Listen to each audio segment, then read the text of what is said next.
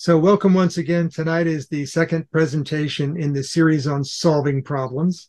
Uh, basically, why hasn't technology caught up with where we ought to be by now? Uh, most people think of it as, where's all the flying cars? But there's a lot more things out there than that that are like, why aren't we doing that yet? Well, uh, before the holidays, I did a presentation on power, and uh, you know, we're out there trying to observe neutrinos, but nobody connects the dots and says, can we get power from them? Are there more neutrinos than there are photons? Is, is since neutrinos are weakly interacting subatomic particles, they're WIMPs. Are, are they really the source for uh, dark matter? Maybe don't know, but uh, you know, takes time to figure these things out. But somebody's got to start with, hey, what about? And that's what I do with these presentations: is hey, what about this? You've got all these problems with how we're doing it now. Maybe we should think a little differently. So tonight's is on propulsion. So as I mentioned, this is a series of them. Uh, we did power. Tonight is propulsion. Next week is on communication. And then the following week is on transportation itself.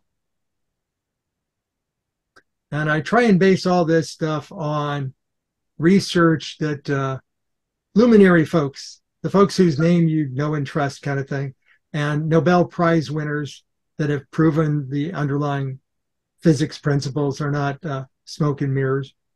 And sometimes it's uh, repurposing something.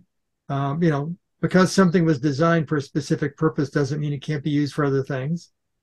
And since nobody's connected the dots yet, uh, it is a matter of you're not going to go buy one of these on Amazon.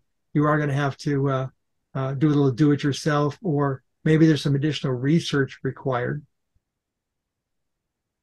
But if you start with the premise that it's impossible or counters the known laws of physics, uh, I, I don't cook this stuff up on my own. There are uh, research luminaries that were here before me, and there are often Nobel Prize winners that have, you know, had peer-reviewed substantiation of the smoke and mirrors I'm discussing. So but before it can be mainstream, it's got to have investment to uh, make it more optimal, make it uh, large scale production. So maybe some of the folks that are spending multiple billions of dollars on fusion power, high energy particle physics like CERN's uh, particle collider, or quantum computing, for example. Uh, I know that a couple of companies have spent over a billion dollars each on quantum computing. Um, a small fraction of that would uh, bring some of this stuff to light. In tonight's episode, we'll talk about propulsion. So currently, uh, all of our rocket propulsion is based on chemistry. This is one of those, think about it for a moment. It's all based on chemistry. When we ignite fuels and the rocket goes up, that's chemistry. Um, if we have a compressed gas and we squirt out the compressed gas, that's chemistry because we're using a gas and we're compressing it to a liquid and then we're um, releasing it and allowing it to interact with the air pressure to make a little bit of propulsion. Um, if we look at ion propulsion, that's definitely chemistry. We're ionizing a gas that was originally compressed as a cryogenic liquid. Um, and there's only certain kinds of gases we can do that with. They're Nobel gases or noble gases. Um, and the newest stuff is melting materials, compressing them, and then squirting them out. Um, people took a look at inkjet printer um, nozzles and said, what if we make kind of a super inkjet printer and we take um, uh, iodine with other materials and we make a hard brick of this material so we can pack more of it in a small space at small mass and then we melt it on the fly and then we accelerate it and squirt it out like an inkjet printer using piezoelectricity. Uh, that's still chemistry. So all the propulsion all the forms of propulsion are all chemistry. And if you think of ion propulsion as being electric propulsion. Let me take away your fuel tank of noble gases and see if you still think it's electric. So the common problems they run into is propulsion duration is determined at the time of launch by whatever fixed containers of propellants they have fuels, oxidizers, or material to be melted and squirted. If we want to uh, go faster or a little longer, we increase the quantity of these propellants, but that makes the rocket heavier, which actually reduces the maximum capacity. It gives it a harder punch, but the duration doesn't get any longer. And every time we do this with uh, materials, we have tanks of the materials, we have the plumbing to escort it around the launch vehicle, we have pumps, we may need additional tanks of stuff. Uh, I don't know how many people are aware of this, but um, if you look at the upper stages of these rockets, if they're liquid hydrogen, liquid oxygen as their propellants, um, if the liquid oxygen is the oxidizer, oxygen doesn't take kindly to zero gravity. If you don't have a full tank of oxygen under pressure, uh, you have to pressurize your oxygen tank to push the oxygen down to the pumps so the engine will work in the vacuum uh, uh, zero gravity. And they do this using a separate tank that's also fixed capacity containing pressurized liquid helium because the liquid helium has a tremendous expansion pressure and they use that to pressurize the liquid oxygen tank. Sometimes it requires multiple rocket types and multiple stages. Uh, if you've seen the Atlas V, they use several solid stage boosters on the sides and a liquid uh, multiple engine booster in the core. The uh, Falcon Heavy uses three liquid engines, no solids. And sometimes they use a common tank of fuel with multiple pumps and multiple exhaust nozzles and combustion chambers. So they're trying to save on tank weight by sharing the tank. But when you increase the number of engines, at some point, uh, you know, some of the engines are going to get more fuel faster than others. And whenever you uh, increase these numbers, you're going to need more control electronics for all the pumps and the valves and the heaters and all that stuff, plus the software development time and the time to test, do static tests. And all of these increase the mass of the launch vehicle. So I found it interesting that uh, you get about three minutes on whatever your launch vehicle is. So if you've got a high performance launch vehicle like an Atlas V or a Falcon Heavy, you get about three minutes before the primary boost is done. You know, the solids drop away, the, the center liquid drops away. Total time is about three minutes. And you can look at a, a, a smaller rocket or a larger rocket, and it's still about three minutes, but they can lift more. But when you make the rocket bigger and you make the tanks bigger, the rocket weighs more. The tanks have more liquid in them, makes the tanks weigh more. So you're, you're, you're getting to a uh, law of diminishing returns. In ion propulsion, not, not, not sure how many people are aware of this, but uh, in ion propulsion, they rarely, if ever, run the ion propulsion engine at full throttle because at full throttle, it would exhaust the fixed gas tank in a few hours. So when you see like uh, um, these deep space probes that are ion powered that go for five, you know, five plus years, they're running the engine output at about 14% of total thrust for their multiple month propulsion, you know, going from asteroid to asteroid. Or in the case of the uh, Starlink satellites, uh, they're running at less than 100% propulsion, and they only turn on the ion thrusters, the krypton gas, not xenon, but krypton gas thrusters when they need to. But the satellites have a lifespan of at most about five years. If you look at compressed gases, when the uh, the Falcon booster is navigating its way back to either a drone ship landing or to land on land, um, you'll see these nitrogen bursts going off to keep the the rocket vertical so it doesn't tip over and you know cause problems. And those nitrogen bursts are very short lived. They're just, you know, second or so a piece when they burst just to keep the tip, uh, keep it from tipping over. If they turned that on, uh, the nitrogen thruster would only last a couple of minutes. And then the uh, uh, propulsion solutions that melt something like an ion block and then expel it, those have a very limited thrust of about one Newton, and they're good for about five years. If they encounter a heavier than expected solar wind, that five years can be sheared off rather quickly. The common factor is they have a fixed at launch propellant supply that is typically uh, exhausted quickly. And even on the long duration flights, when it's exhausted, that's end of mission. So here's how they've been trying to improve things. Um, make each rocket motor capable of greater instantaneous output. Uh, try more exotic uh, fuels. They've tried this both liquid and uh, solid fuels. The problem is uh, there's people down on the ground. Uh, I know that when they had some solid chemistries that they've tried at the Cape, that it it damaged the paint on cars in the parking lot, you know, three miles away, because air is everywhere and this stuff disperses.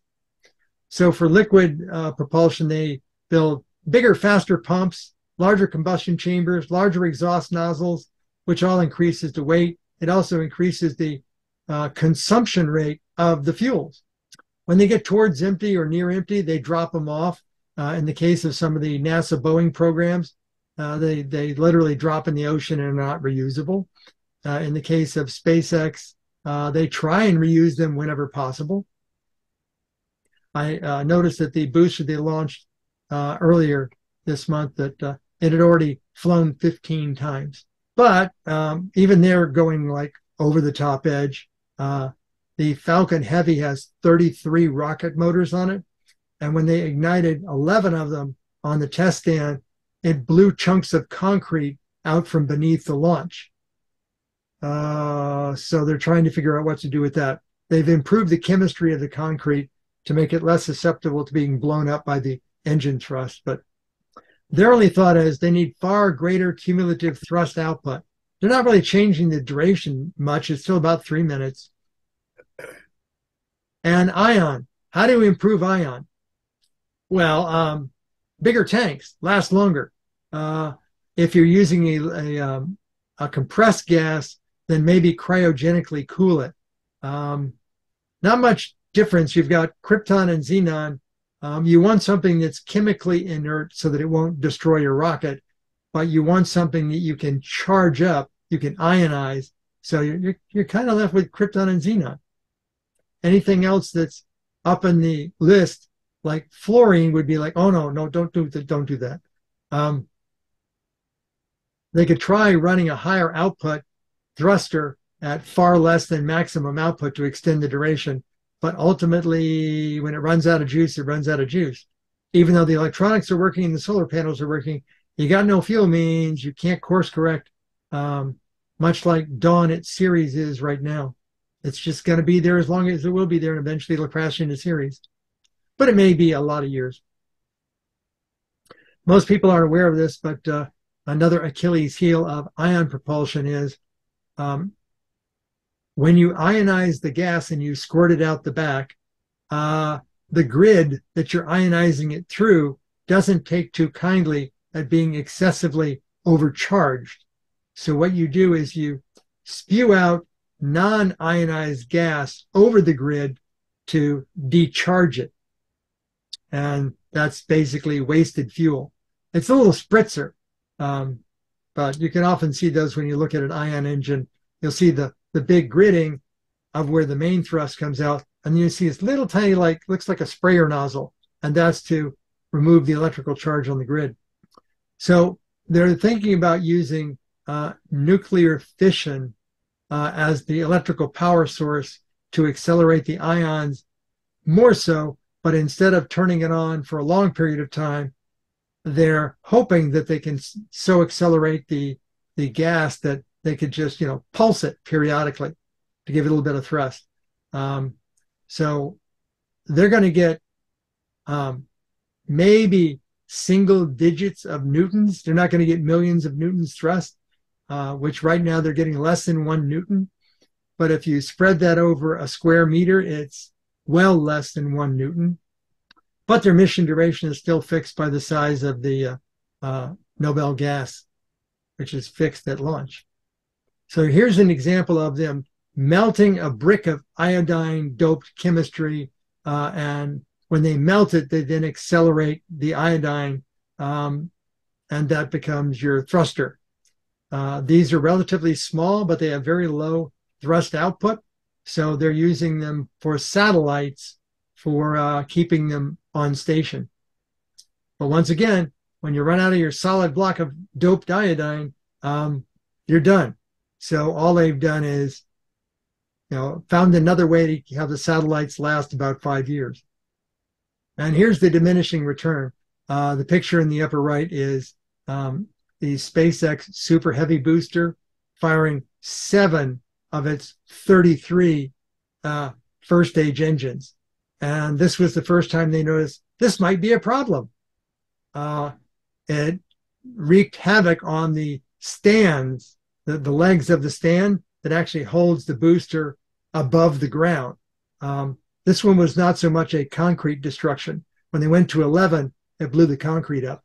It didn't explode it, it just like blew away chunks of it that rained down over the area um, all of the sort of orange smoke you're seeing is uh, the oh. chemistry of the propulsive fluids mixing with the water uh, coming to keep the sound suppression down from it uh, audibly blowing itself apart. Uh, so it makes that orange giant cloud. And it, all the cloud gets to be water beyond that. So that's why it changes to white. It's just steam you can only carry it so far before it just becomes theater of the absurd. So, why are we doing it this way? You can go back to Newton's cannonball. Isaac Newton showed how if I fire a cannonball with a certain amount of force, it will go downrange and land on the earth. If I fire with more force, it'll go downrange further, but still land on the earth. Theoretically, I should be able to create a cannon and fire a cannonball that will have enough momentum that it will go around the Earth and come back and hit my cannon in the rear. So basically in orbit. And everything that we launch today is based on this same principle. We start with a certain amount of oomph, and that's all the oomph we ever give it. We never give it more oomph. So you have to give it a lot of oomph to get it to go around the earth. And if you want to launch something heavier, you got to give it more oomph. So everything we do is Newton's cannonball. And if you want some examples of even deep space, when they run out of navigational or station keeping or orbital adjustment liquid propellants, um, they're done. Uh, Cassini, they dove that into Saturn. Galileo, they dove that into Jupiter. Dawn is in a uh, low orbit around the asteroid Ceres. They were all electronically still functioning just fine. Uh, they had solar panels. Uh, in the case of Galileo and Cassini, those were not solar, those were actually radioisotope thermoelectric generators. So they had plenty of electricity. They just had no more course correction fuel. So they didn't want it to go off on its own to some place they didn't want it. So burned it up. In the case of Dawn, it's got solar panels. So it can still talk to us, but it's not going anywhere. It's not going to be doing anything different. By the way, not shabby for almost 400 years of science. Yeah.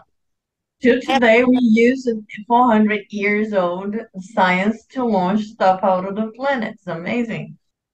Or you could look at it the other way and go, we're stuck in a rut. The longest lasting deep space vehicles that have currently no main propulsion at all are the Voyagers, Voyager 1, Voyager 2. They used large rockets to get off the Earth and out of Earth orbit. But once they were out of Earth orbit, they actually did slingshots or gravity assists around uh, large planets in the solar system to get them from planet to planet. They did not have the thrust with their maneuvering rockets to actually push them to the other planets. So they would go to like, you know, Mars and then Jupiter and then Saturn and Uranus and Neptune. And after that, they were out of the solar system because they had no primary thrust anymore. This was well before ion propulsion existed. In fact, this was back when ion propulsion was considered a joke and not practical because it produced so little thrust. How could you ever use that? And then we had Deep Space One and then um, Dawn. Uh, and that pretty much said, yeah, you can use that, even though it was putting out less than one Newton of thrust. So, how is it that way out at the edge of the solar system, the Voyagers can still make sure they're lined up with Earth?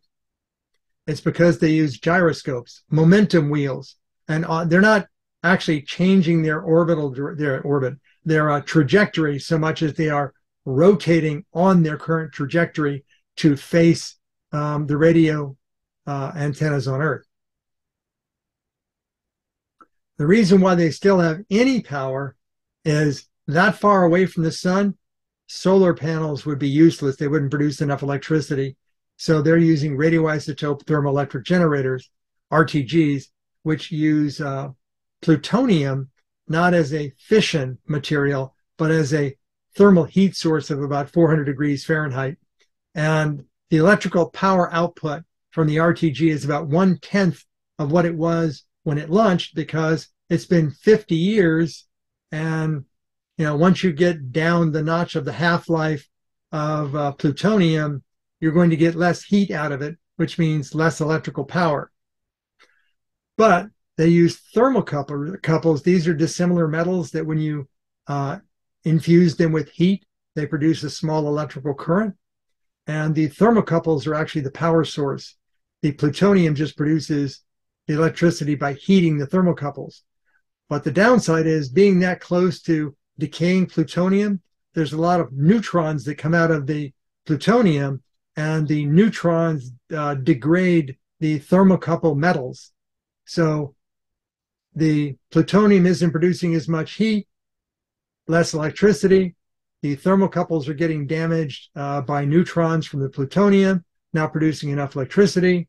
So they've had to slowly turn off all the instruments on board the Voyagers. So they're not taking pictures. Uh, I think they've got a magnetometer and an electrical field density meter.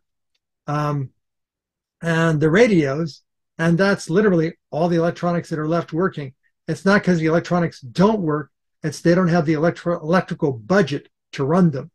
So if you want to have something run for a really long time, give it an RTG and send it out on its way and never expect it to change its trajectory because it's got no fuel left. If we're going to get past uh, Newton's Achilles heel, um, what we need is something that is inexhaustible. We don't want any kind of fixed tank of anything that would require resupply or ending the mission. Um, and if we don't have any tank on the vehicle, then that means we don't need any tank farm on the ground, no deliveries of cryogenic stuff, no pipelines. And because we have nothing in tanks to move around, there's no moving parts. There's no refurbishment should we get it back. Uh, there's no ongoing maintenance to moving stuff. And we also want something that is not reliant upon the sun angle. Or because if our probe goes behind a large planet like Jupiter, uh, how big a battery can we carry? How long is our probe going to stay in the darkness behind the planet before we can get some more sun on it? We don't want something that derives its propulsion by ground sourced gigawatt lasers because that level of energy diminishes as you get farther and farther away from the planet.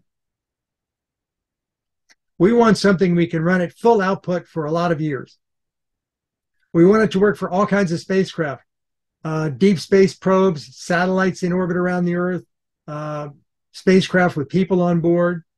We don't want something that's explosive. We don't want things that are going to blow up. Uh, we don't want it to be radioactive for either the people on board the craft or for the people on the ground. So we don't want something that uses uh, radioactivity or fissionable materials. We want something that can be mass produced cheaply in high volumes. And we want to be able to steer our spacecraft without having uh, momentum wheels or gyroscopes whose bearings eventually give out. This is why most of the spacecraft that have momentum wheels have redundancies because the bearings eventually don't work well after grinding on one another, even with the best lubricants in zero G. We'd like the ability to change direction, accelerate, and decelerate rapidly. You know, we don't want to have to um, run the propulsion for six months just to get 10% faster, like we do with ion propulsion. We like something that reduces the complexity and the cost over current solutions. We're tired of build, building the big bada boomba rockets uh, that consume a lot of billions of dollars. It'd be nice to have something that didn't try and punch its way through the atmosphere, uh, which means you have to build it structurally and aerodynamically sound to you know go through sonic booms and max q so we want something that maybe starts off slower and then eventually gets faster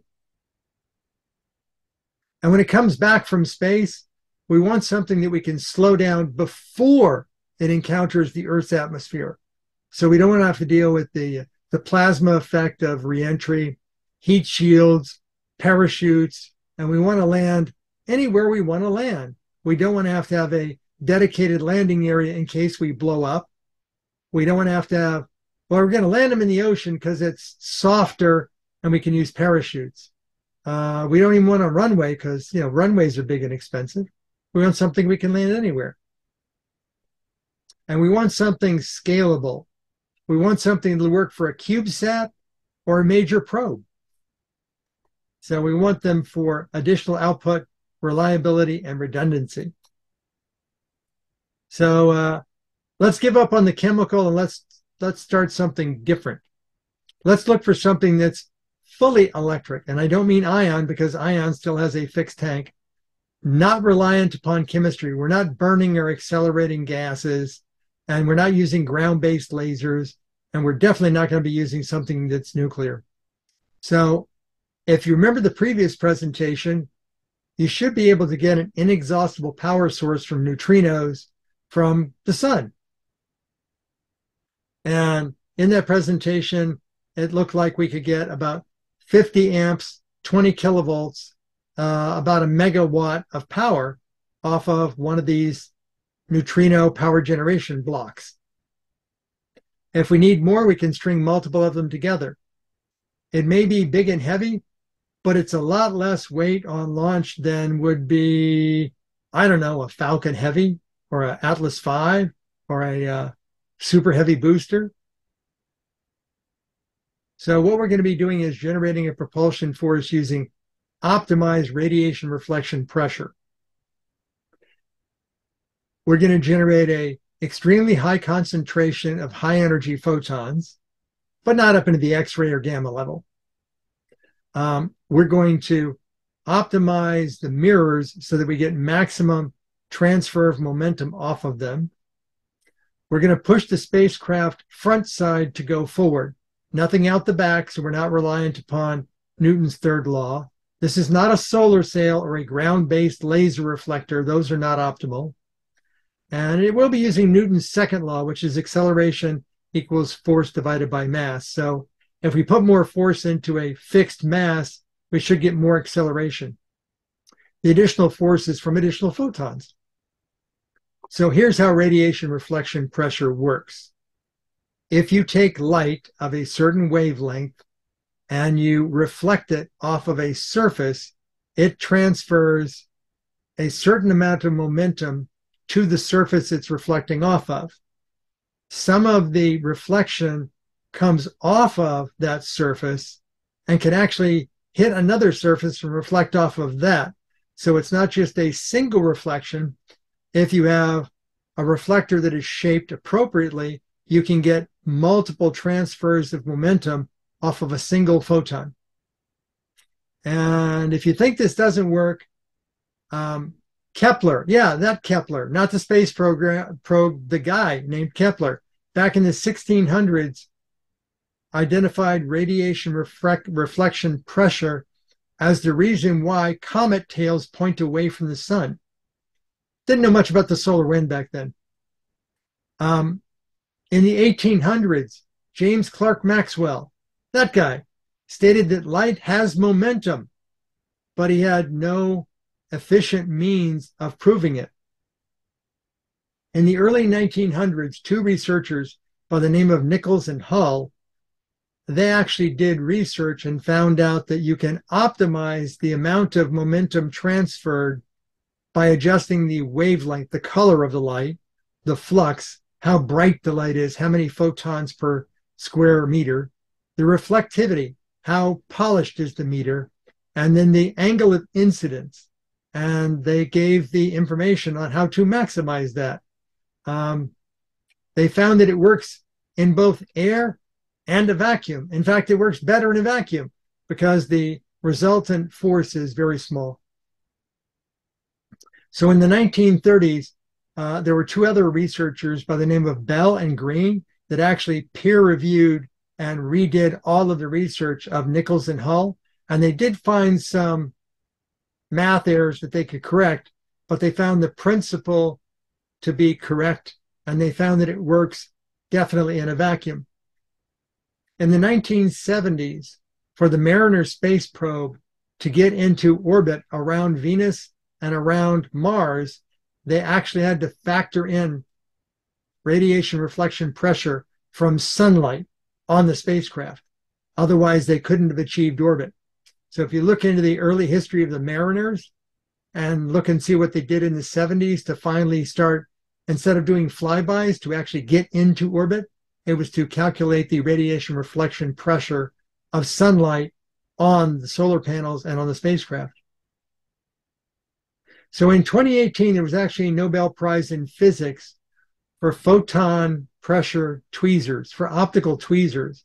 This was so they can move viruses and bacteria around the microscope, the uh, X-ray microscope slides. So it's a thing. It actually has a physical process. And if you're looking at solar sails and the proverbial EM drive, these are non-optimal approaches to it.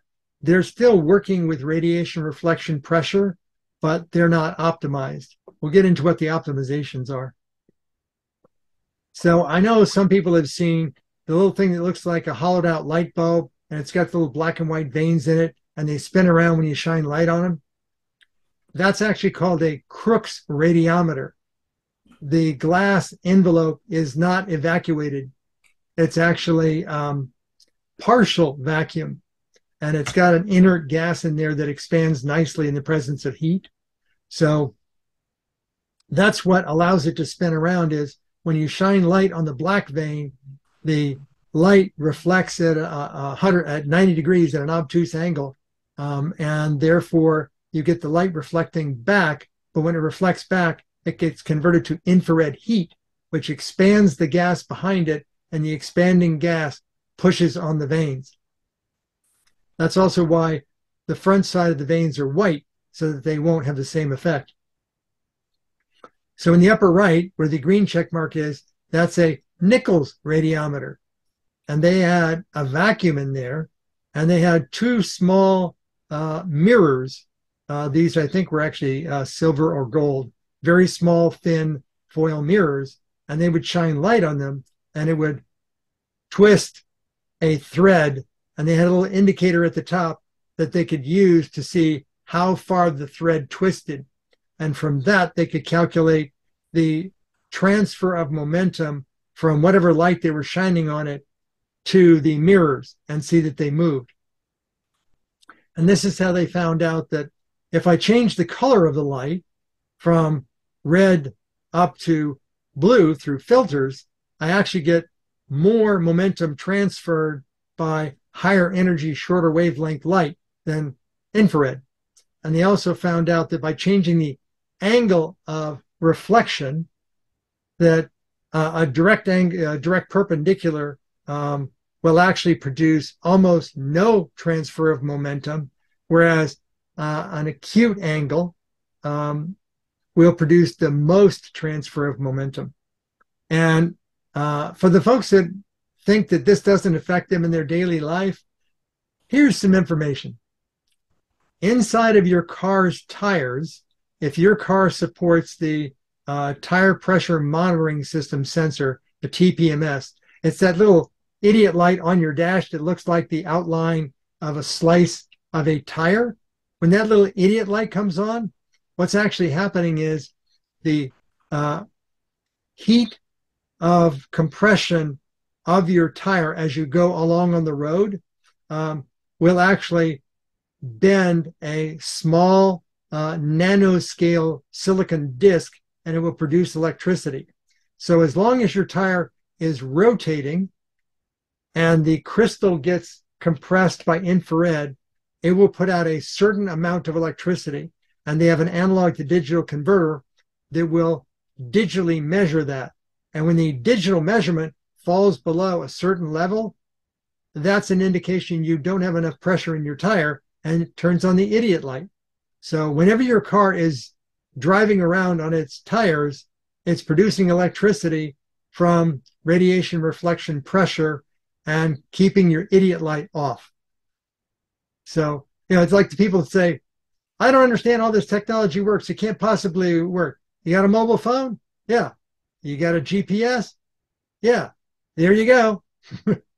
so this is another there you go kind of thing that uh, radiation reflection pressure in your everyday life is a MEMS chip inside of your tires. So how do we improve this?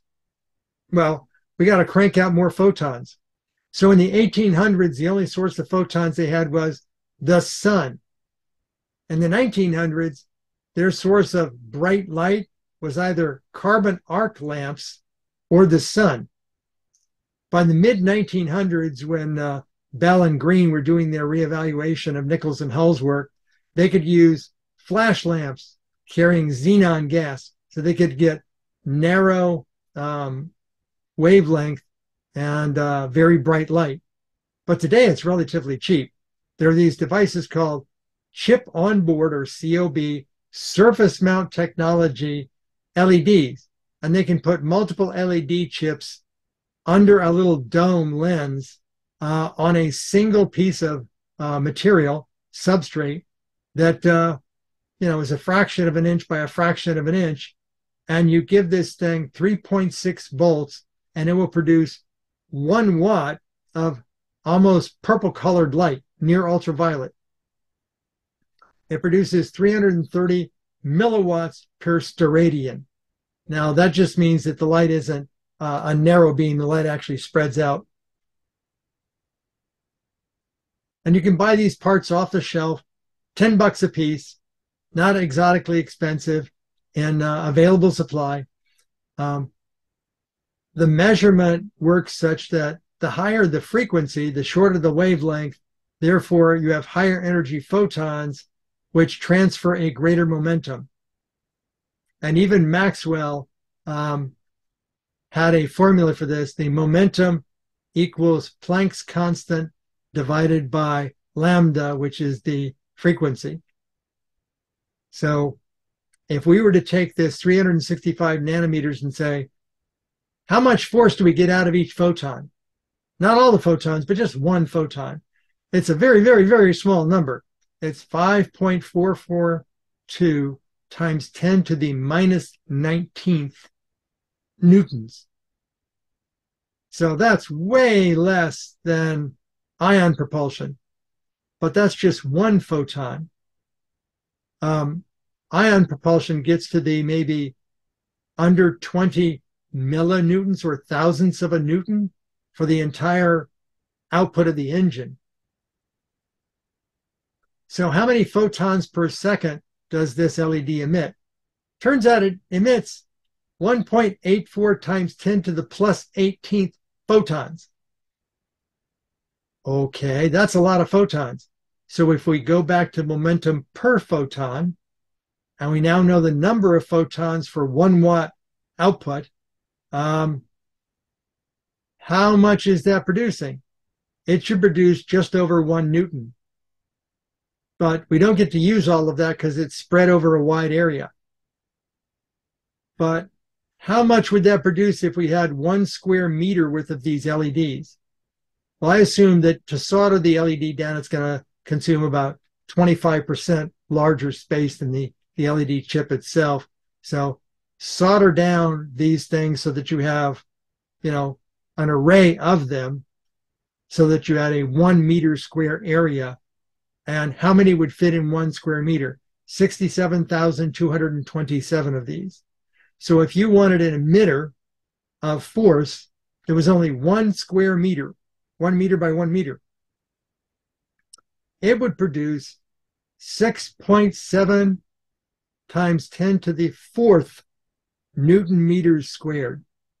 That is more than any ion engine known to date, even the ones that are nuclear powered. So if you gang up multiple meters square of this, you get even more thrust. But you got to think about connecting the dots and working on this stuff and adding it up. I'm sure there are things that will make it less. And the first thing we have is package size. So how do I get the most photons output at the highest energy per square meter? Well, if I used an individual LED, like a little, little uh, LED bulb, that would be huge because I get very little output and it occupies lots of space. Well, what if I used a higher output, like a five water? Well, they have a lot of uh, metal tabs coming out to dissipate the waste heat. So don't use that one because even though it's got more photons coming out, it's over a larger square area. You have more, more waste. And don't even think about going to 10 watts. It produces a lot more photons, but it's a big fat. I mean, it's more than an inch by an inch. So you're, you're not going to come out right. So having these surface mount leadless chip carrier kinds of things works great. But there's another kind of technology called quantum dots. That's even better because instead of being something that's, you know, uh, 11 millimeters by 11 millimeters, the quantum dots are nanometers. The individual quantum dots are a billionth of a meter, but all they do is produce photons. So, where you might have heard of quantum dots is in TVs, computer monitors, those really, really big TVs you see at the Consumer Electronics Show. Those are using quantum dots. And they will tell you all about the uh, particular kinds of inks they use in the dots. And they use different diameters of corrals at the nanoscale level to produce different colors using the same chemistry in the dots. So, based upon the quantum aspects, let me get it right here. The quantum aspects. So, if they want a particular wavelength to come out of the dot, they change the diameter of the dot and it produces through con- confinement the photons that are only of that wavelength. So you can have a, a red dot, a green dot, and a blue dot. And if you want a narrower wavelength, you make the dot smaller. So the smallest of the quantum dots is the blue. The biggest of the quantum dots are the red. But since human eyes are not as sensitive to blue as they are to green, um, you only need one green dot per pixel. You need one red dot per pixel, but you might need as many as three blue dots per pixel. What I'm looking at is I want a lot of blue dots because blue is a shorter wavelength. And if I can change the chemistry slightly, I'd like some purple dots, please. And I use a uh, simple ultraviolet illuminator behind it, and they will produce purple light at very high photon densities. And you can switch these off and on using computer chips, something called pulse width modulation. You can adjust the brightness and turn them off, turn them off and on. Um, if you wanted to do this with a TV panel, you'd get one that supports local dimming. So you could change the brightness in different parts of the panel. You might have also heard of organic light emitting diodes. These are physically larger even even the micro LEDs that they have now, they're still much larger than quantum scale dots. And it costs more to produce them uh, because you're literally making uh, semiconductors per dot. And they produce more waste heat. So go with the quantum dots. How about reflectivity? Well, in the 1800s, the best mirrors they had were polished metal, which were pitted and uneven. By the time the 1900s came around, they had rear surface mirrors, you know, the typical glass mirror. But the light going through the glass actually reflects twice, once off the front of the glass, once off the silvered surface at the rear, so they would lose momentum. But it's the best they had. By the mid 1900s, they actually had polished front surface glass mirrors. These are mirrors where the reflective coating is on the front of the mirror, not behind it. But that was still not all that smooth. Today we have aluminum oxide ion deposition on fused silica. So the glass is special to be ultra smooth.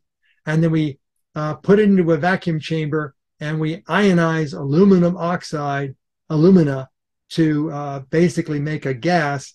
And we electrostatically charge up the mirror plate. And then that draws the gas molecules onto the surface of the mirror. And we have a mirror that is 99 plus, not 100%, but 99 plus percent reflective. And if you ever want to buy a good diagonal mirror for your telescope, for your eyepiece, look for one that says it's a dielectric mirror. Dielectric is the process of ionizing the alumina and ion coating it on the glass surface. They are microscopically smooth. Nichols and Hull discovered that when you have greater reflectivity, you have greater momentum transfer. And now that we have ion deposition coated fused silica mirrors, we have even way more transfer of momentum than they could ever hope for.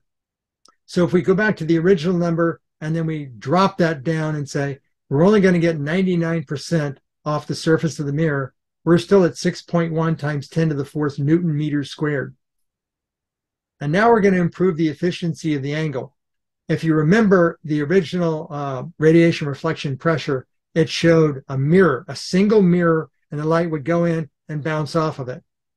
Well, what if you tilted the mirror like this, and instead of having just one flat piece of mirror, you had actually a cone shaped mirror? And it was reflective on the inside of the cone at this very high level. So you do ion deposition on the inside of a cone that's been smoothed, and now you have a 99% reflective mirror, and the angle that you uh, have the photons reflecting is a very, very shallow angle. And the way you calculate the reduction is by factoring in the uh, cosine squared of the angle. So if you have a photon reflecting off of the inside of the cone at five degrees, it will transfer 0.992 of the momentum. When you get up to 45 degrees, it's only half. When you get to 90 degrees, it's zero because it would be a, a horizontal plate. All the light would go in and be absorbed and re-reflected as uh, infrared heat. And you don't want the propulsion going that way when you're trying to go that way. So you make a tip at the front of it to let all of those photons out. That's your photon exhaust. And then you need to make 67,227 of these things the diameter of the individual LED. So they have to be very small, very reflective, and very smooth. But if you said, let's just count the first reflection, 45 degrees, we'll pick like a mid level. We're only going to get half. So we've dropped it down, and now we're at 3.054 times 10 to the fourth Newton meters squared. So if you have a square meter of these uh, emitters and you put reflectors on all of them and they're optimal reflectors, then 3 times 10 to the fourth. Now, times 10 to the fourth, think about that for a moment. Times 10 to the third is 1,000. Times 10 to the fourth is 10,000. So that would be 30,000 newtons. Even if I'm off by two factors. Let's say instead of 30,000, it's 30. 30 newtons is still more than any ion thruster today. So remember that original reflection? What about the mirror itself?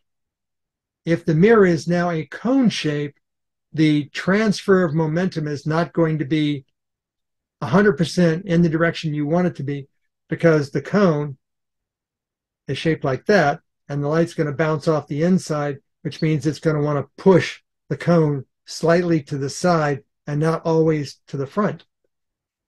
So, how do we correct for that? Oh, that's really simple. Uh, you dope the mirror. If you've ever looked into uh, the original ruby lasers, you found that a ruby by itself does not laze very well.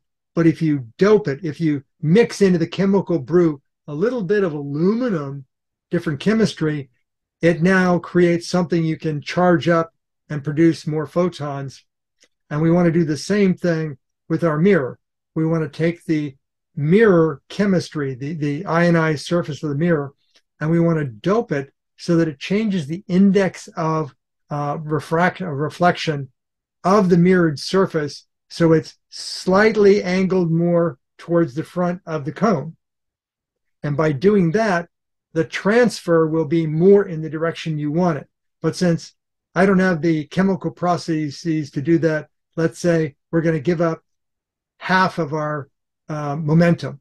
Now we're down to 1.527 times 10 to the fourth Newton meters squared.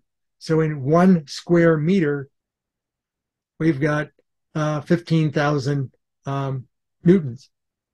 But that that's a little complicated. How, how do we make this thing cheaper and easier for like home do-it-yourselfers? Uh, there's this stuff called reflective polyester. They use it in food wrappers. It's very malleable. Uh, you could, you know, get get your individual LED and coat the inside of it with this. Make it 80% reflective. Um, very easy to do. So if you just wanted to try out one LED and see what you get, you could do that. Now you've got one LED and one cone. Uh, what if you wanted to gang it up? Uh, well, you know, these are cheap enough to make. You could make yourself something that was 10 by 10, uh, and it would produce um, 5.442 times 10 to the minus 17th newtons, which is not enough to measure unless you're at the uh, NASA Glenn Research Center in Ohio, where you can measure nanonewtons. Because remember, a ninth is a nanonewton. So the only way this works is if you scale it up big time. But I, I haven't got the uh, engineering resources. So how do I uh, prototype this thing? How about with a TV?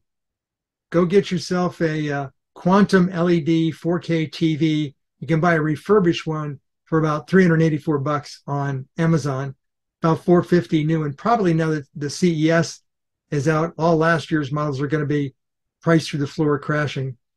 But I don't really need all that. All I need is the panel. If you just wanted the panel by itself, you can apparently buy one of those on eBay for 37 bucks and you'll get it on a slow boat from China. Um, but now you need something to act as your reflector. And there's a company that actually does those things. There's a company called Holographix. They will make you sheets of plastic material that is reflective. They can work features down to 10 nanometers, so more than capable enough for um, the, the QLED display panel. The only thing that would be odd for them would be creating the exhaust holes in the tips but they do photolithography and ion beam milling as well. So just add to your service request. Could you make some like small holes in the tips? So now you have your quantum LED panel that's almost a half a meter by half a meter. And you have your reflectors. So make the TV show bright blue light and see what you get. Let's compare that with ion propulsion. Here is the NSTAR engine that was used on Deep Space One and on Dawn. They didn't believe that it was going to be reliable enough. So on Dawn, because it was going to be a longer mission, instead of having one ion thruster, they had three ion thrusters sharing a common uh, xenon fuel tank. The diameter of the ion thruster was 30 centimeters or about 12 inches, one foot, not a meter squared, one foot, and it was one foot circular. And if you look at the top of it, you see this extra little squirt nozzle. That's where it spews out unionized gas to discharge the ionization of the emitter grid. The maximum duration output, given its fuel supply, was 3,100 seconds, which sounds like a lot, but if you calculate it out, it's eight tenths of an hour, not even a full hour. So if they had opened up Dawn to 100% thrust, they couldn't even get an hour's worth of propulsion before they ran out of fuel. So they ran it at about 14% of its total output. And it consumed half a kilowatt, 500 watts of power to, to run at that level.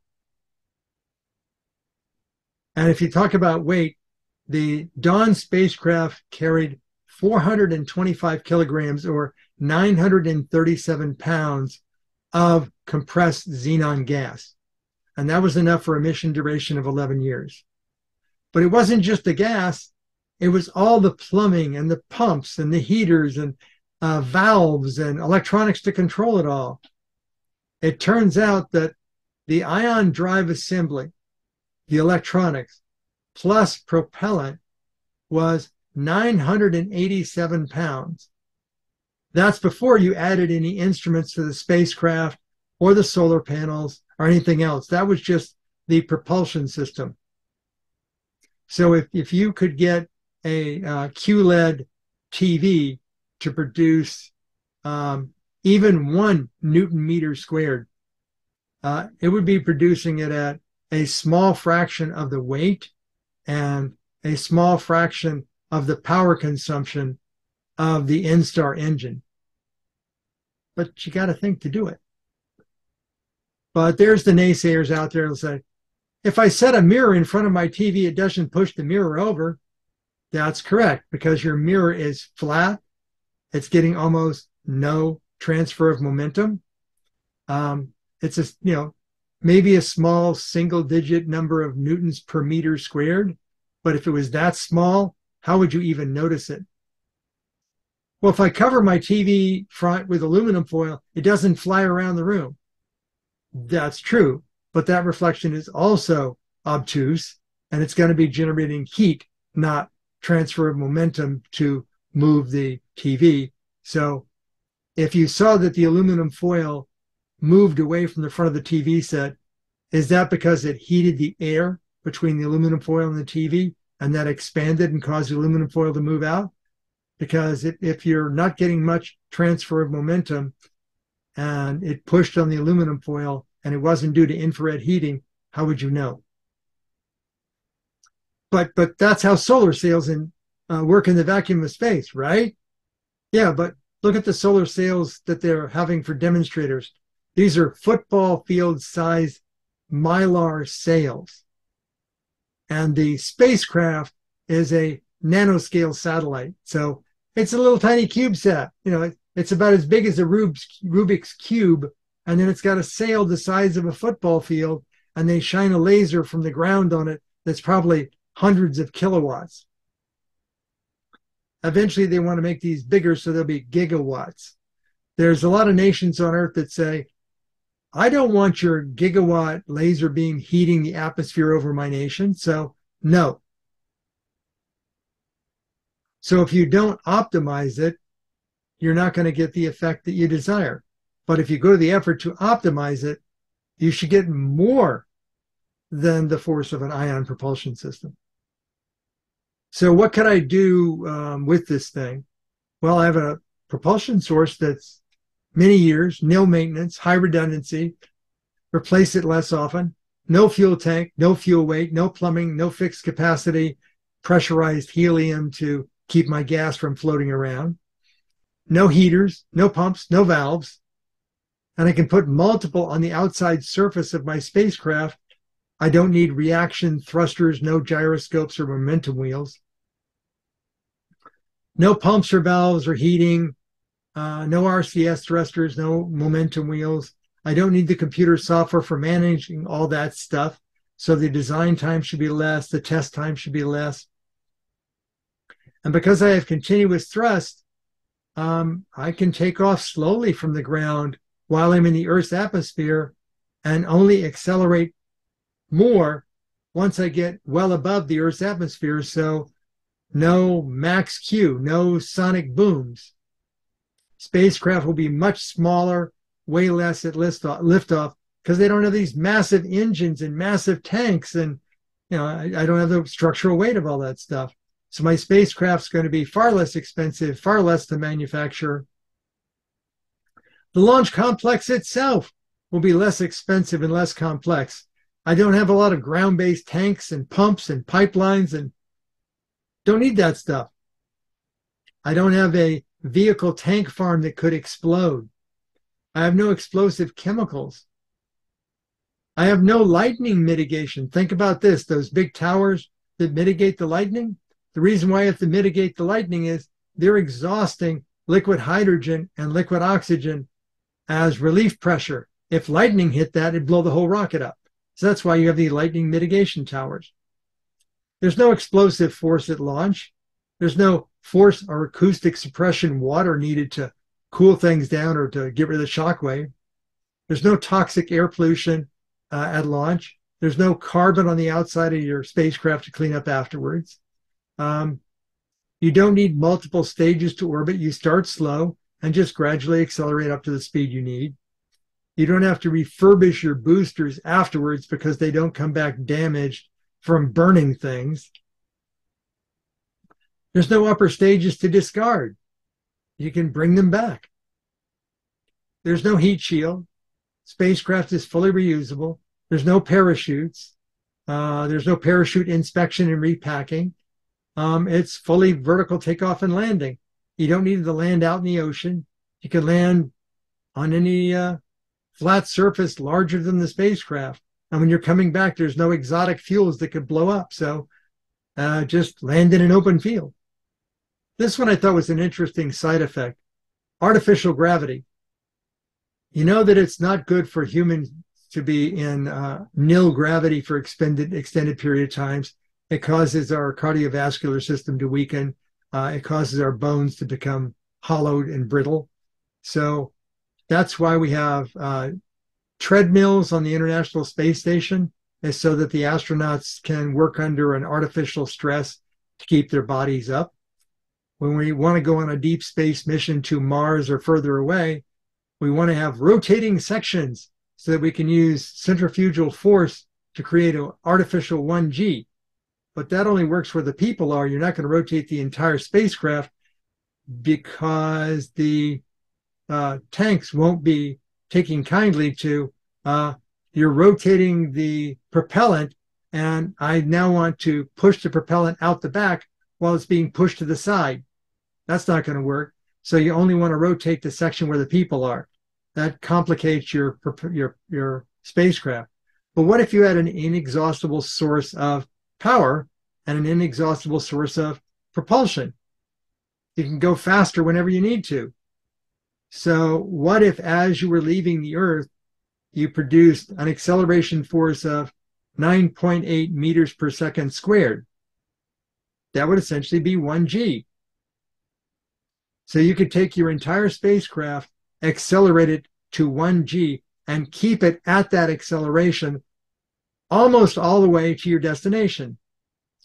When you got close to your destination, let's say it's Mars, you would turn the spacecraft around the other direction and accelerate at 1g in the other direction, which you would feel the downward acceleration pressing on you as 1g until you slowed up enough where you could do a slow reentry without heating into Mars's thinner atmosphere. So now you have your artificial gravity, and it's less artificial than the uh, centrifugal force gravity because it's actually artificial gravity. It's, you know, we're accelerating you the same way the Earth's gravity does, so you wouldn't be able to tell the difference.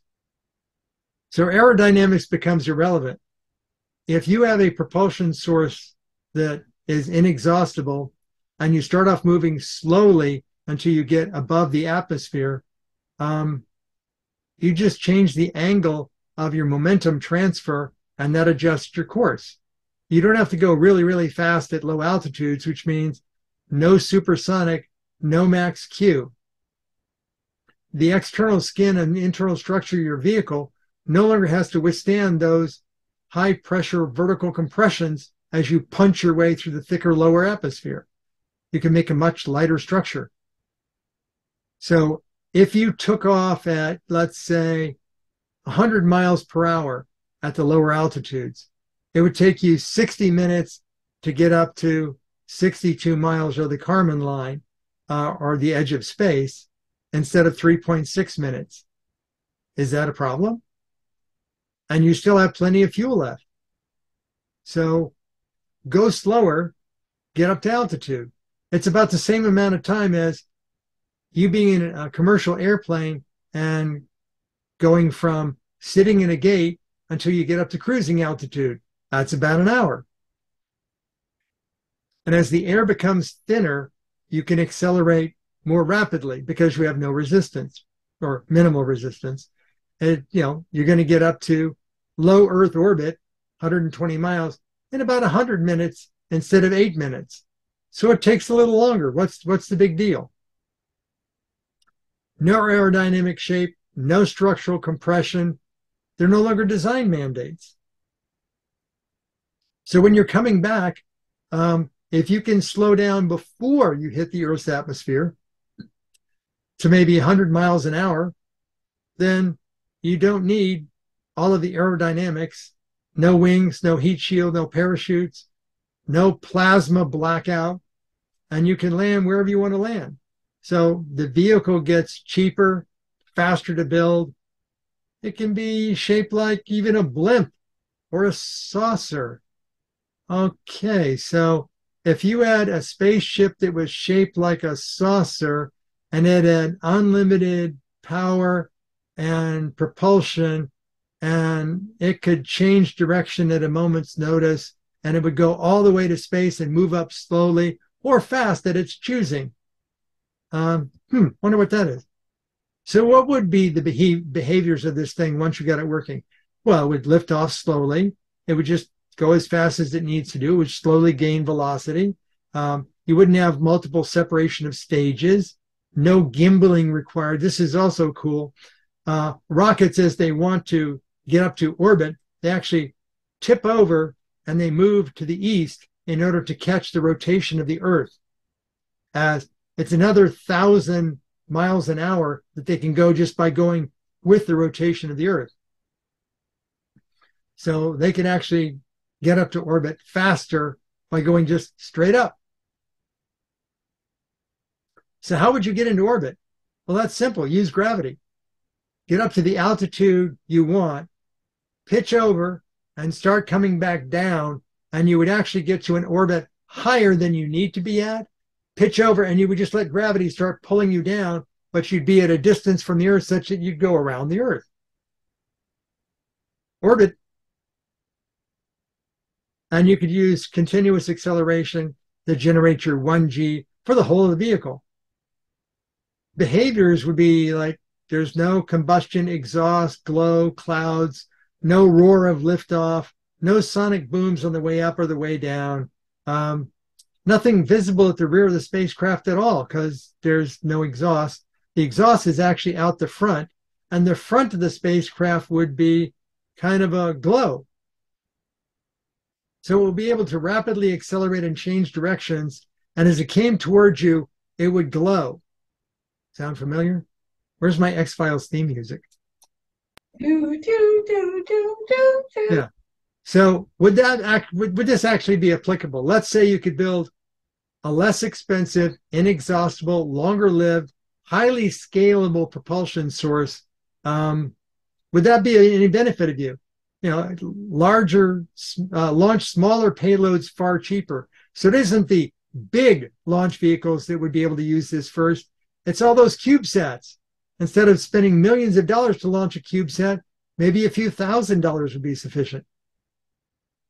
Smaller companies could get into the spacecraft business and launch them, but you wouldn't need all of the fancy pads and the exotic fuels that could go boom, and you wouldn't have to have a helicopter catch your parachute and you know, that makes it a lot easier and cheaper for the small guys.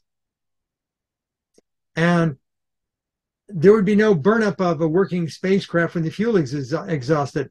No second stages lingering in orbit and then falling back and burning up. You don't need to make something sturdy enough for max Q or sonic booms. Cheaper, faster to build, longer sustained, launch and land anywhere, nothing explosive. So anywhere could be a field.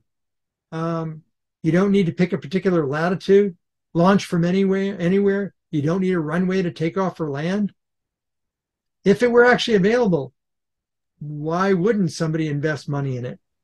So, well, I have a question. Are you developing yes. new? Um, it sounds like that there's going to be a new call for a lot of other jobs out there, such as yes. traffic controller.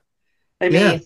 if you have all of this going on and can land anywhere, there's going to be needing to be traffic controllers in space. Yeah, there already are. There's the FAA. Yeah, but it, this is not something that they look at in this oh, it kind is. Of- it is. Anytime you want to launch something to orbit, you have to work with the FCC on your communications frequencies, and you have to work with the FAA on you going up, getting all the airplanes out of the way when you go up, and then when you come back down, getting all the airplanes out of the way when you want to come back down. But when you say that this is going to be on a massive scale compared to what they have today, yeah, I mean people can go anywhere, so they're going to have to expand that role, and it's yes. going to be different than it is right now because right now you can't go anywhere you want, and you have to, and you're very big and very noticeable, you yes. know. yes. And now all of a sudden, so there. This is also looking for other jobs for the future. Oh yeah, because once you can invite smaller companies to launch smaller things, uh, you may still have to go through the FCC for your radio and the FAA for your launch and landing vector and your orbit uh, coordinates, but there's going to be more of them. But the FAA is already scaling up to have many, many thousands of satellites in orbit. So I, I think it will be great for growing jobs, for growing industry. Um, it might make some of the bigger companies a little worried that if this thing gets scaled up large enough, it could mean you don't need the big bada boomba rocket anymore. Okay, so let's connect. Would, would, would the person that's looking into going to Mars be concerned about this? Oh, I think they should be thinking about it definitely. Yeah, but I mean, they shouldn't be worried about it. Though you were saying people at the higher level would be worried that they wouldn't need to have what they have now. Would, uh, are those people who you're thinking of? Is the people that are planning to go to Mars? Maybe no, having no a direction. No, no. It's any large corporation that manufactures and launches and recovers and refurbishes big, almost one time use rockets. Think about it this way every time a rocket gets launched that has a second stage, that multi million dollar second stage is a throwaway. It's going to linger in orbit for a while and then fall back and burn up. Imagine if you could create a product, sell it for a huge amount of money, and then it destroys itself every time it gets used. Oh, that's a lot of money to be made. Now, if you have somebody come in there and say, I can make it far less expensive, get you to the same orbit, and it doesn't burn up, that's going to put the big boys uh, in fear. And they're going to try and find ways to not do it. But let's, to make it. Let's let's say that nobody scales it up, and all you can get it up to is, let's say, a quarter of a meter in size, but it's very efficient. What would you like to do with it? Hey, Back to the Future hoverboard sounds good. That would be a proof of concept. And if the spacecraft was saucer shaped, that would improve its aerodynamics. Cover the entire outside with computer controlled photonic propulsion modules. You don't need wings, tails, propellers, jets, RC, RCS thrusters, or momentum wheels. And you can travel through um, the vacuum of space, atmosphere. Since there's no exhaust, hell, you can even tra- uh, move underwater. Huh, that sounds familiar. Something that can travel without exhaust through uh, space, through air without aerodynamic wings and tails, and even tra- uh, travel through water. Gee, maybe you could do that. And if it does do vertical, vertical takeoff and landing uh, anywhere, velocity becomes exotic. And what I mean by that is if you think about the Dawn spacecraft, um, it turned on its ion propulsion for, for more than six months to get it up to 47,000 miles per hour. Imagine if you had something that produced a thousand times the force of Dawn's ion propulsion and you could run it at full throttle for five years. How fast could it get going? Now, if you wanted to have an unmanned probe go to, I don't know, let's say uh, a planet circling Alpha Centauri, instead of 4,000 years, it might only take 40 years. That would still be doable. So, yeah, propulsion could get exotic. But then as you, clo- close on the speed of light, you have all kinds of other problems to deal with like communications. We already know it takes a really long time to talk to the Voyager spacecraft, like 18 hours to send a signal up and then 18 hours to get a signal back. Once you get out beyond our solar system, um, you need a means of communication that takes less time. So, our next discussion will be talking about let's ditch radio, which is electromagnetic radiation, and let's use something else to uh, modulate and use for radio communication. Maybe it's subatomic particles, um, quantum entanglement, or gravity waves, but that's what we're going to talk about next time. But this time, when you're talking about connecting the dots yep. and saying that uh, this this is what you foresee that th- these things are going to come about because we do have the information to be able to do some of this. Some of it that, you, like you say, you're going to run into other problems that you don't know what they're going to be because of, or you may know what they're going to be, but you don't know what the solutions are because you you build one to another dot to another dot. Sometimes yes. get yes. more complications.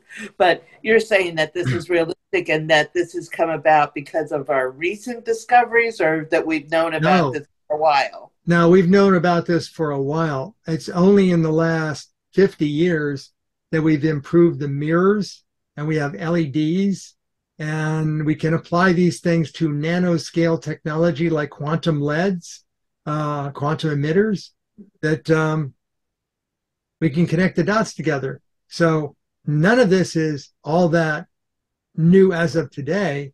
The p- physics principles date back to the 1800s the uh, technology improvements are within the last 50 years and putting it all together is something that uh, necessity is the mother of invention yeah we, fig- we figured out ion propulsion but it took 40 years to get the smile off of physics assholes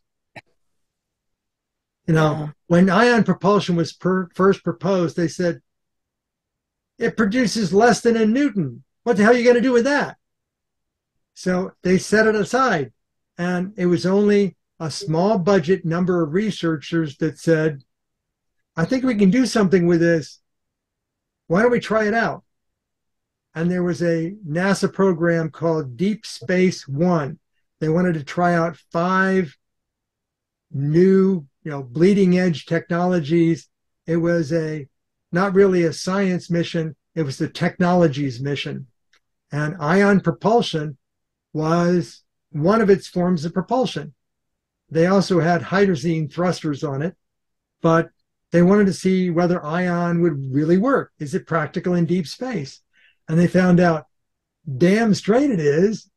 so that was how they did it. You start with a small budget, with a small number of enthusiastic people who can mentally connect the dots, and then you start working through all the necessary optimizations. Um, the squirting out uncharged gas to neutralize the accelerator grid that came late in ion propulsion. You know, of the 40 years that took them before Deep Space One, that was probably 10 years before Deep Space One that they realized that the grid, if it gets overcharged, would produce diminished thrust. And by squirting some un-ionized gas on it, it would discharge it. and allow the grid to last five years. That that was a revelation. But uh, until you start working it, uh, what is it? The phrase um, "prototypes are easy, production is hard." So, so now we know about these uh, neutrinos. Now they're becoming very popular to know. I mean, it's been known about for I don't know, 20 years, neutrinos? No, no, we've known about neutrinos for almost 50 years. Okay. As, as a theoretical and they, they weren't experimented when we did the other then? I mean, you're saying that 50 years ago they did the this uh, deep space one. Did they use neutrinos then no. too? No, no. They used radioactive plutonium. Radioactive so why did they use neutrinos? Do they not know how to work with them maybe? for the same reason that ion propulsion was not used the same day they thought of it. What are you going to do with that? It produces such a small amount. That's that's that's not even worth mentioning. No. So neutrinos were not as popular to use because they were even less of a quantity. Yes. Neutrinos are considered WIMPs, W I M P S, weakly interacting particles but but they're not considered. I mean, it's becoming very popular in the news today. I mean, well, that that's because that's because, that's because a couple of years ago there was actually a Nobel Prize for neutrinos changing flavors. That was going from electron neutrinos to muon neutrinos to tau neutrinos. There are different energy levels of neutrinos, and how could that occur if neutrinos were no mass? They have no charge, but until that Nobel Prize, they said neutrinos have no mass, like photons have no mass. But photons may not have a mass, but they have momentum. And depending upon energy, they can transfer their momentum through reflection. Well, neutrinos can do the same thing. They have mass, which is momentum. And if you can absorb a neutrino and produce electrons from it without wasting the electrons as light, if you can conduct away the electrons as voltage, you now have an unlimited power source. So, so this is new. This is the, the the reason we can utilize it yes. more than we could have because before. because they have mass, and because they have mass, and they will interact with only certain materials weakly. You don't want it to push the material you don't want to transfer the momentum as a force. You want to transfer the momentum as a net electrical charge, basically produce electrons. And if you produce the electrons and you can conduct them away using existing semiconductor technology, you now have an unlimited source of power. So there are people working on this now. Yes. Where you're the yes, big there's, an, there's an entire there's an entire website of multiple corporations working on, if you just Google the two words neutrino power, you will find there's a lot of companies working on it. They're all trying to get the right formula to make the right numbers because right now it's really small. But all they're looking at is uh, how do you contain the light? Like, don't let it become light. Transfer it away as an electrical charge. So they'll they'll get it eventually. Just like ion propulsion is now like so important and so popular and so meaningful that every SpaceX Starlink satellite has multiple krypton gas ion propulsion units on it. Well, eventually, you know, eventually there'll be photonic propulsion and they won't need a gas tank and valves and plumbing and heaters and all that stuff spacecraft will get lighter and they'll last longer. And yeah, as I say, first you got to see the dots, then you got to have the faith to connect the dots. Then you got to go find somebody with money to help you pay for the optimizations. So if we have ion propulsion, um, we can now have lighter, cheaper rockets. Um, but we need somebody to invest, but the investment does not need to be as massive because you don't have a huge rocket you don't have a huge facility to manufacture it. You're not throwing things away. You don't need to recover and refurbish them. You don't need to build a huge launch complex out of poured concrete. You don't have tank farms and pipelines and fuel deliveries. much lower cost, much smaller farms can do it, firms can do it. And by having this ability, we might be back to the moon or Mars or to the stars sooner. And if we have this ability, maybe we can have colonies by you send up a lot of smaller spacecraft that are parts convoys. And those go land somewhere like the moon. And then you have the big bada boomba rocket land the people. And now you have people that can build with the materials that are already there. See the dots, connect the dots, have the faith to, to invest in it, and then you can do it.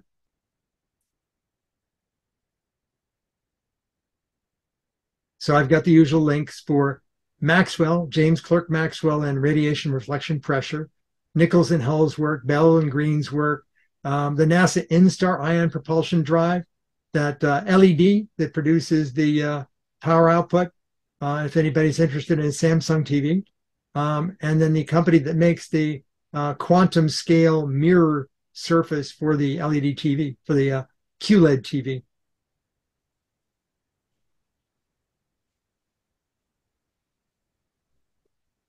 And once again, thanks for watching. Comments? Questions? It's not possible. Physics doesn't allow it. It violates the conservation of momentum. Takes well, too long. Takes too long. Takes too long. Yeah. Yeah. Yes. I, I want my rocket to be in orbit in 18 minutes, not one hour. No, I actually have a, a spreadsheet that I did all the calculations through, and I worked it up from the um, momentum formula through the reflection, optimizing it per LED, what would I get? How much space each LED would take up? The solder, you know, soldering them down, the waste area around them, with the uh, soldering the feet on the bottom, and all that stuff, and kept reducing it and reducing it and reducing it. But I would be happy if uh, the Glenn Research Center in Ohio took just one LED and one conical reflector and set up a rig in their uh, uh, gravity reading meter and just ran that. I'd like to see is the net a number greater than zero?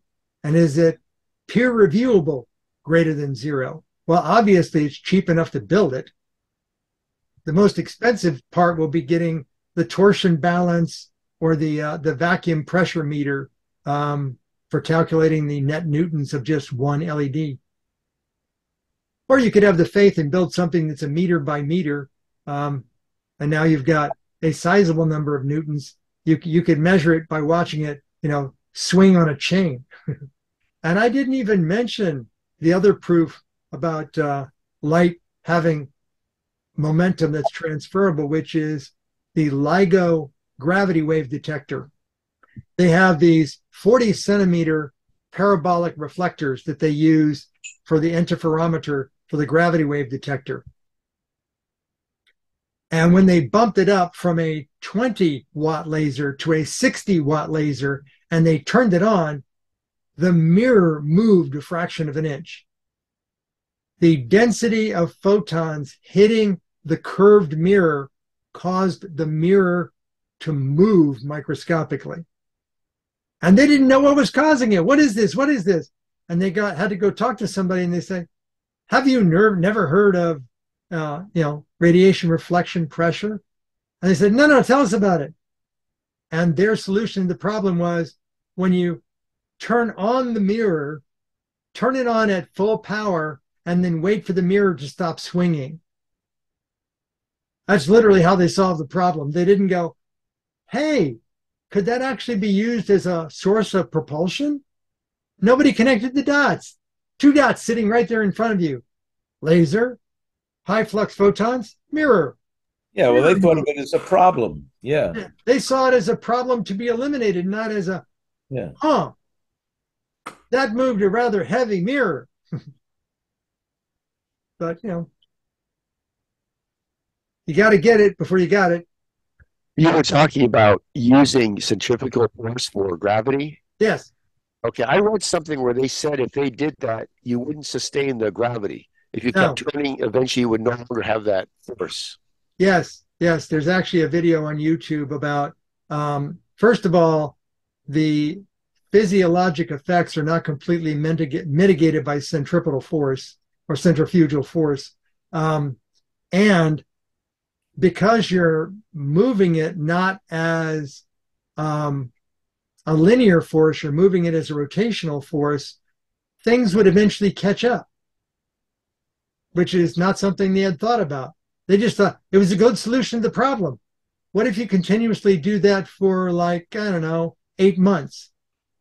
Well, the actual net gravitational force or simulation of it would decline over time. But if you're accelerating under 1g, it would continue. There's a little guy whose uh, last name begins with an E, I think it's Einstein, who said you couldn't distinguish moving in a spacecraft at 1g from being on the Earth at 1g. And that's true because it's the force of acceleration that holds us to the planet.